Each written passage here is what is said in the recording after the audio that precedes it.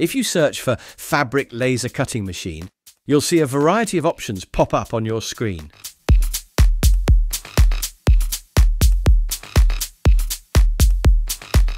Have you ever wondered what those numbers in the names mean? First, we need to understand the standard fabric widths available on the market. They typically come in two sizes, 59 inches and 106 inches. Now let's connect this to the naming conventions of CO2 laser machines. Think of it like a game of fill in the blanks. The name usually includes three parts.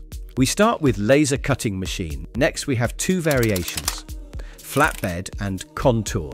Finally, you'll find numbers ranging from 60 to 320. If you're primarily working with fabric, the number at the end of the machine's name should be larger than your fabric width, allowing for some extra space. For instance, for 59 inches, a machine starting from 160 is ideal. For 106 inches, look for ones starting from 320. Many fabric laser cutting machines feature a pass-through design, this means the fabric can be auto-fed from the back, paired with a conveyor working table, allowing for virtually infinite length. However, the length of the working area is crucial when considering your cutting patterns. For the best results, the working area should be longer than your cutting pattern. This is why one of our customers ordered a machine with a 10 meter long working area.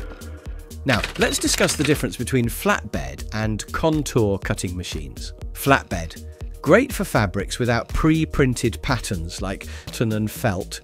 Contour, ideal for fabrics with outlines or shapes that need to be cut, like sublimated sportswear. These machines come equipped with a smart recognition system and a camera, making precise cuts much easier.